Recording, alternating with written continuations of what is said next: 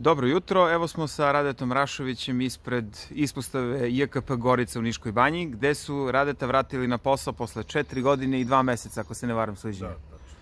Evo Rade, ako može kratko, prvi dan posle toliki, tolikog broja godina kao uzbunjivač, su te vratio na posao.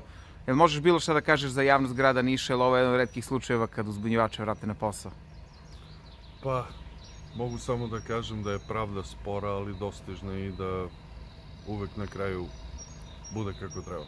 Kaži mi ovako okvirno, iako ćemo da imamo poseban intervju vezano za e, ceo, ceo slučaj Gorice i tebe, a, kako se sećaš posle dve, četiri godine i da li si imao da kažem, poprilično ozbiljnih problema posle cele priče, to jest u toku cele priče uzbunjivanja i naravno otkaza i vremena kad si bio na sudu. Da li si imao nekih problema, pretpostavljam da jesi, da li si se loše osjećao zbog svega? Pa, iskreno, meni su četiri godina prošlo u paklu, maltene. Nemate posao, znate i priču da sam ostao bez državljanstva, onda krivične prijave lažne protiv nas, koje smo dokazali, borba na sudu, ne znam šta drugo da vam kažem, stvarno pakao. A kako može da ti nema državljanstva kad si dobio nazad posao u javnom sektoru? Nemam pojma. Evo, sad ja pitam, a ti si novinar pa možeš da saznaš. Teško da može bilo što se sad sazna u ovoj zemlji.